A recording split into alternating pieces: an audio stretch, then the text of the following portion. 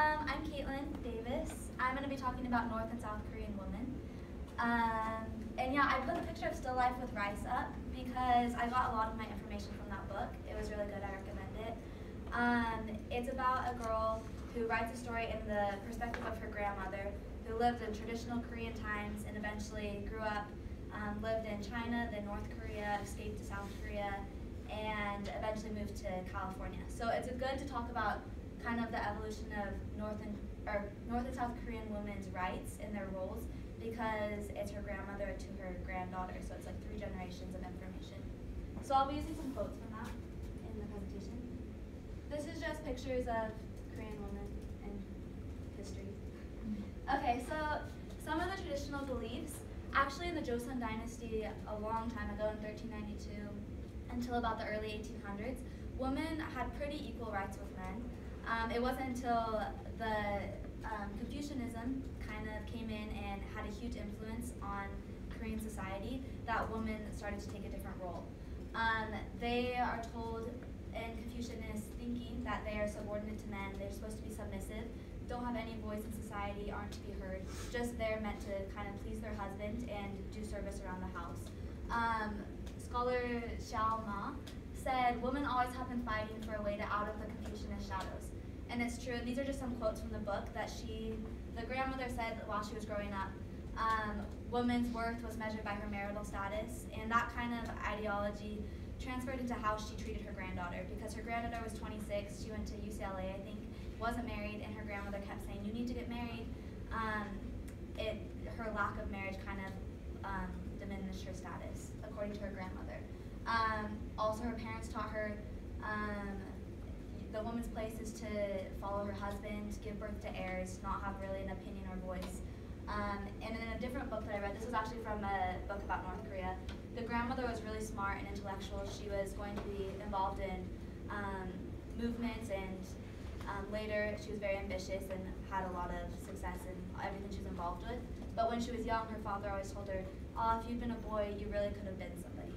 But because she was a woman, she didn't. They didn't think she was worth anything. Um, so this is just kind of how women are brought up in, in traditional Korea a long time ago. Um, they were allowed to play outside, do a lot of things until about age nine, and then she lost her freedom and was coming to kind of learn about the responsibilities of being a woman, which was basically meant preparing to please her husband someday. And so that involved making tea, speaking a certain way when you were going to be in your husband's home, um, learning how to do cooking, laundry, how to please your husband eventually. Um, you were merely here to serve and not be heard. Um, childhood spent in preparation for your future role as a wife and mother. Um, and then marriages were arranged. So at that time, what would happen is the parents would go out and seek a matchmaker, and according to how well they paid the matchmaker, depended on how kind the in-laws would be or how good of a match it would be according to tradition. So they would go, the parents would spend a lot of money on the matchmaker who would come and supposedly they weren't to, they didn't meet the husband until later on, but she would come and say the traits of the husband, his family, how much money they had, and the parents would say, "Oh, we pay this matchmaker well; it must be a good fit," and then they would end up getting together. Then after that, they would go to a fortune teller who would kind of measure the couple and see if they were going to be a good fit, if they were compatible, and then um, the match the fortune teller would set the wedding date, and that was kind of their future. Um, so the family life was a little different in the early Joseon dynasty. Um, they would live at um, the wife's parents' home, but later, after Confucianism kind of came in and had its influence, the woman would actually go to her in-laws' home, and that's where she would live. She would basically come in and take over all of the responsibilities of the home, cooking, cleaning, laundry.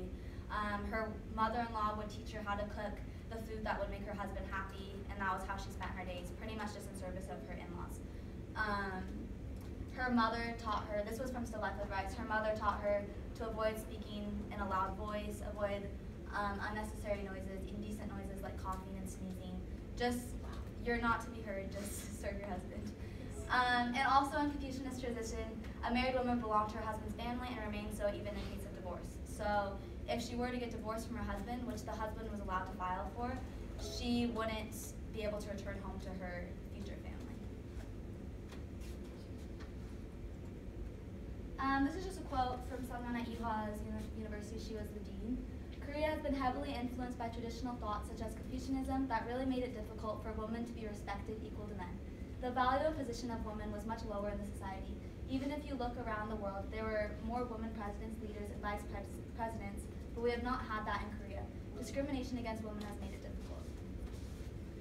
But with that said, um, there has been lots of changes in recent years, um, especially in education, and that began with the introduction of missionaries into Korea.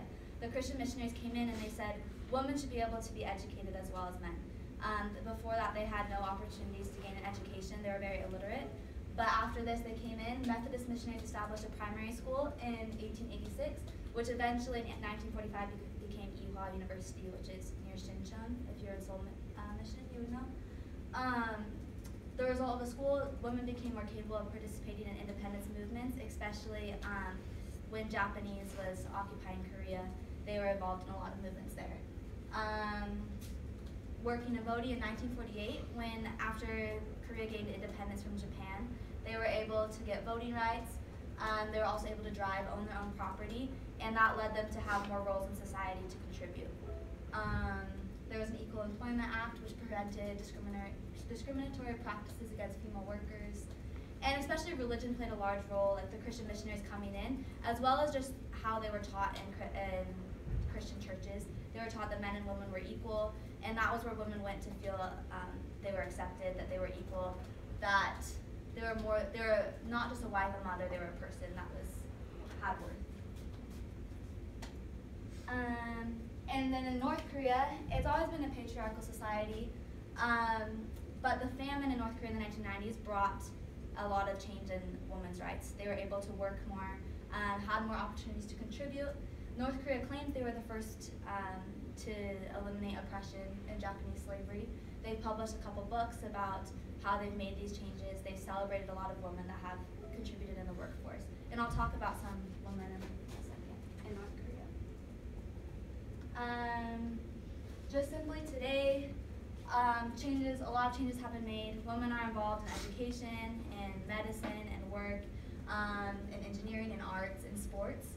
Um, majority of the women get to go to university. However, pay and um, wages and a lot of opportunities still are not as fair. Um, companies sometimes don't want to invest as much in a woman as they would in a man because she'll have to take off once she gets married or once she has a child. She'll have to bear, in today's society, women bear most of the childbearing and housekeeping responsibilities, and so people don't want to hire them as much because they will have to leave to take care of all those other things. Um, divorce custody is granted to the father in case of divorce, but if they've been married for more than five years, they have um, little, they're eligible to receive a portion of the father's pension. And yes, These are just some more facts about inequality. Um, not as important, but average working women um, earned 42% of what a man in similar jobs made in the 1970s. Now they earn about 63% in 2002. I'm sure it's increased since then. Um, some South Korean woman. This is Park Geun-hye. She was president, the 11th president and the first female president in South Korea. So that was a big change. Um, she actually, she did a lot of good, but ended up being impeached, as we talked about earlier, for mistakes, and she's been sentenced 24 years in prison as of a couple weeks ago, they said that. Um, Kim Yoon-ah, she was an Olympic skater. She won the Olympic gold in Vancouver, and she won the silver at the Russian Winter Olympics, and she retired after that Olympics. Some North Korean female figures. Um, Kim Bon-sok is Kim Il-sung's mother, and people call her the mother of all Koreans. There's not a lot of information on North Korean women, but they, people really look up to these two women because one was Kim Il-sung's mother, one is his, his wife, and she gave birth to who they call their great leader. And so people see them as um, people who supported anti-imperialism. They're kind of moral examples of what traditional Koreans should.